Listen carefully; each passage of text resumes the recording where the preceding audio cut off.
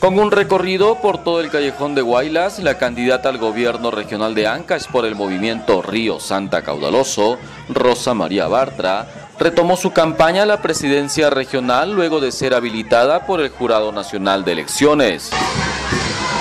La caravana inició muy temprano el pasado sábado y tuvo como punto de inicio el distrito de Catac para luego continuar por Recuay, pasando también por Huaraz, capital de la región Ancash. Esta larga caravana también hizo un breve alto en la provincia de Carhuaz para confundirse con sus militantes y simpatizantes. Posteriormente el recorrido llegó hasta la provincia de Yungay en donde también fueron ovacionados por la población. En este lugar el candidato a la alcaldía provincial de Yungay, Quique Chávez, tenía preparado un mitin para la recepción a Rosa María Bartra. Ya no necesitamos ya no necesitamos cosas de palabras, sino hechos, por supuesto. Y la doctora tendrá palabras o hechos y no palabras. Por tanto, amigos, vamos a escuchar, por supuesto que sí, a nuestra presidenta regional. Va a ser, y en Yungay vamos a ganar, y por tanto Yungay va a ganar también la doctora. En su intervención, la candidata a la presidencia regional de Ancash, Rosa María Bartra, destacó puntos importantes como la construcción del hospital de Yungay, la construcción de la carretera Yungay-Yanganuco y Yungay-Buenavista, así como el mejoramiento del mercado municipal, losas deportivas, entre otros.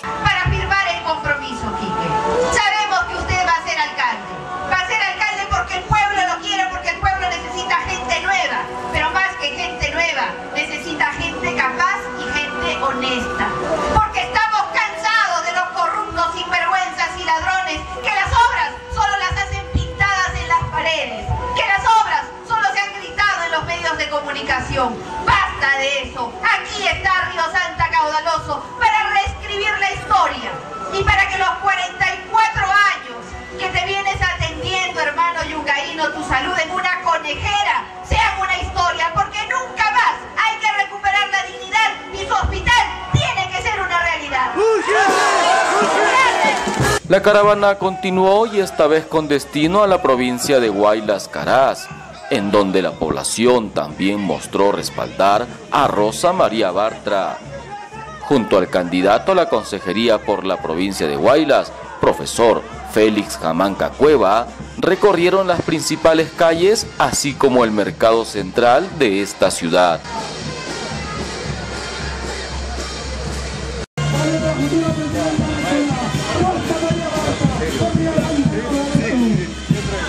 En la provincia de Guaylas, los militantes y simpatizantes también tenían preparado un mitin de recepción. Una numerosa cantidad de personas esperaban a la candidata de Río Santa en el populoso barrio de Dianachaca.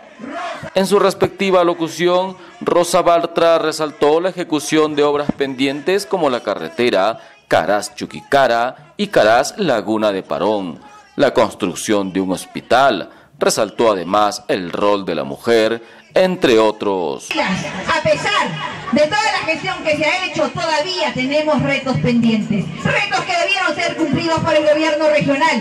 Tenemos que hacer gestión para hacer realidad la carretera Chuquicara-Guayanca, Caraz, que estoy segura, al primer año de estar nosotros va a estar ejecutándose. Rosa, amiga, Caraz está contigo. Rosa, amiga, Caraz está contigo.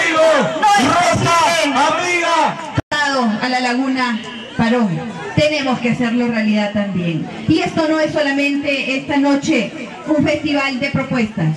Sabemos cómo hacerlo.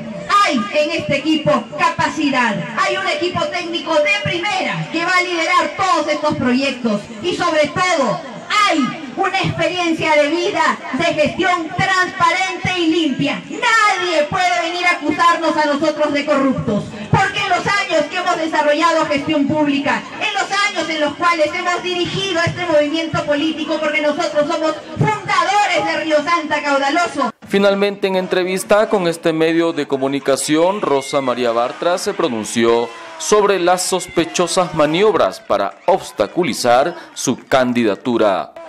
Expresó además su confianza de ganar en una primera vuelta electoral. De que podamos convertirnos en una alternativa realmente de progreso y prosperidad es la que nos da esta fuerza porque necesitamos además para reconstruir esta región desde el estado en el cual se encuentra toda la fuerza del mundo. Y esta fuerza va a venir de nuestros militantes, esta fuerza va a venir de nuestros alcaldes distritales, provinciales, esta fuerza va a venir de nuestros consejeros. Estamos seguros, completamente convencidos de que si el pueblo nos da la oportunidad de servirlos, vamos a dar un giro en la historia de la región y vamos a empezar por la ruta del progreso, por la ruta del éxito de esta región que lo tiene todo para ser grande y que lo único que hace falta es una administración eficiente y honesta para poder decirle al Perú y al mundo este es que progresa, que sale adelante y que le da oportunidades dignas a todos sus pobladores. Muchos consideran, doctora...